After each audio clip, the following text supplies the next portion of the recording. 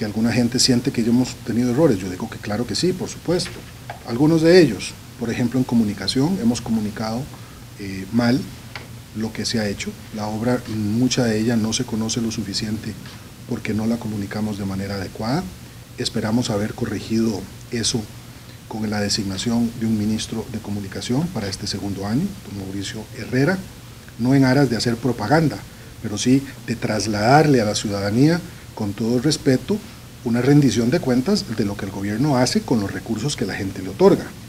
Eh, también en un segundo lugar, podría decir lo que ya señalé, ha habido una curva de aprendizaje. Este no es un gobierno de funcionarios profesionales en política, hemos tenido que lidiar con un proceso de aprendizaje que en algunos momentos se ha expresado en, en errores que se han cometido.